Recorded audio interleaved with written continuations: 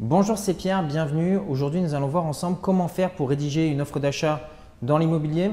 C'est peut-être une question que vous vous posez si vous êtes sur le point d'acheter un bien immobilier ou vous allez acheter un bien immobilier dans le futur ou si vous êtes vendeur et que vous souhaitez avoir plus d'informations sur ce document. Donc généralement, les questions qui reviennent le plus souvent, c'est voilà, en quoi ce document va-t-il m'engager en tant qu'acheteur? En quoi ce document va-t-il m'engager en tant que vendeur? Qu'est-ce qui va faire que mon offre d'achat a plus de chances d'être acceptée plutôt qu'une autre? Et c'est ce que l'on va voir en détail dans cette vidéo. La première chose à savoir, c'est qu'une offre d'achat peut se faire à l'oral ou bien à l'écrit. Donc évidemment, euh, si c'est une offre orale, il n'y aura pas de valeur juridique par rapport à ça.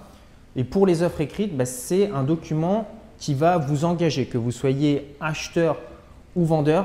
En réalité, ça va surtout engager le vendeur parce qu'un vendeur qui accepte une offre bah, ne pourra pas par la suite se désister. Alors qu'un acheteur qui fait une offre d'achat, Théoriquement, il ne peut pas se désister, mais dans la réalité, ce qui va se passer, c'est qu'au moment où vous allez aller signer la promesse de vente, plus communément appelée le compromis de vente, eh bien l'acheteur, dès le lendemain de la signature du compromis de vente, il a un délai de 10 jours pour se rétracter. Il suffit qu'il envoie une lettre recommandée avec avis de réception et à ce moment-là, il sera désengagé de l'achat. Donc, une offre d'achat écrite, ça va surtout engager le vendeur et assez peu l'acheteur. Lorsque vous transmettez l'offre d'achat au vendeur de façon écrite, il y a deux grandes façons de le faire. La première, c'est de rester extrêmement formel. Donc à ce moment-là, vous allez indiquer sur cette offre euh, les noms des acheteurs et les noms des vendeurs. Vous allez ensuite indiquer un descriptif précis du bien, donc avec l'adresse, euh, le nombre de pièces et le nombre de mètres carrés. La troisième chose, c'est d'indiquer la durée de validité de l'offre. Donc, est-ce que c'est une offre qui est valable 5 jours, 10 jours, 20 jours, 3 jours, après laquelle bah, cette offre ne sera plus valable?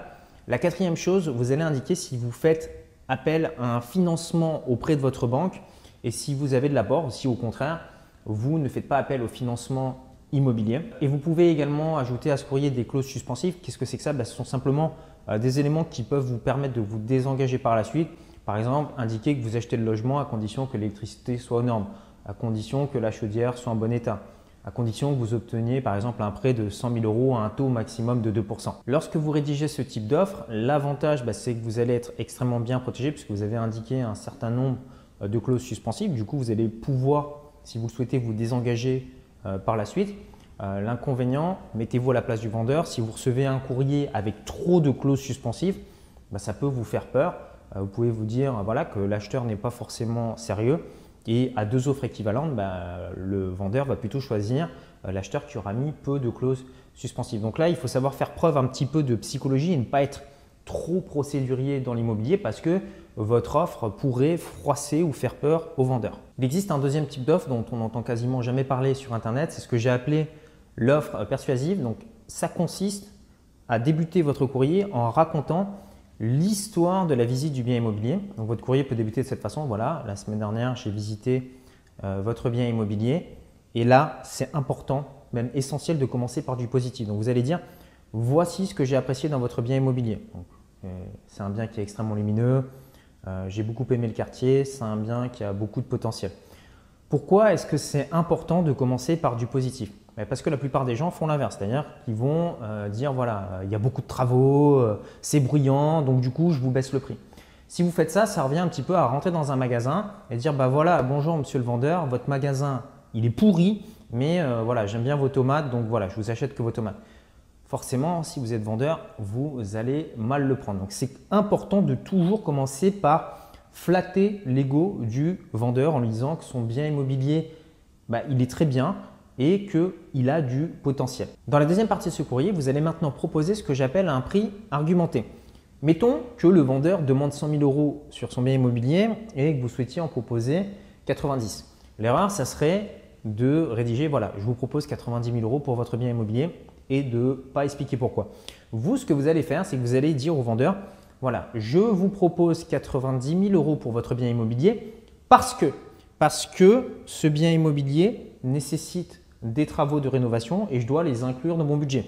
Je vous propose 90 000 euros pour votre bien immobilier parce que j'ai vu avec ma banque et que mon budget est limité. Donc, j'aurais bien aimé vous en proposer plus, mais ma banque me limite. Le fait de proposer un prêt argumenté, ça va énormément influencer la réponse du vendeur lorsqu'il va recevoir ce type d'offre.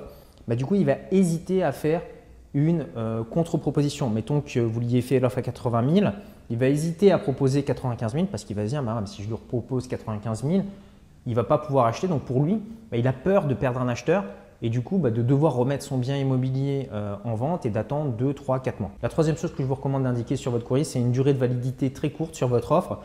Lorsque vous visitez votre bien immobilier, vous pouvez laisser entendre au vendeur que vous visitez actuellement plusieurs biens immobiliers en même temps et que voilà, vous avez besoin de vous positionner, vous hésitez entre ce bien immobilier et un autre. Donc le vendeur, le jour où il reçoit l'offre, bah, il va se souvenir de cette phrase, il va se dire voilà, il me propose une durée de validité de 3 jours bah, parce qu'il a besoin de prendre sa décision entre mon bien immobilier ou un autre. Donc ça permet de créer un sentiment d'urgence chez le vendeur qui va être plus enclin à accepter votre offre. Maintenant, vous vous dites peut-être tout ça, c'est très bien, mais moi j'aimerais bien avoir un exemple mot après mot. Qu'est-ce que j'écris textuellement sur cette lettre Ce que j'ai fait, c'est que j'ai mis à votre disposition euh, un modèle d'offre d'achat. Donc vous allez pouvoir télécharger gratuitement en cliquant sur le petit carré qui s'affiche euh, ici ou euh, via le lien qui se trouve juste en dessous dans la description. Vous indiquez simplement votre adresse email à laquelle ben, vous souhaitez recevoir ce modèle de lettre et je vais vous l'envoyer immédiatement. Donc, je vous dis à tout de suite de l'autre côté. Prenez soin de vous et bon investissement immobilier.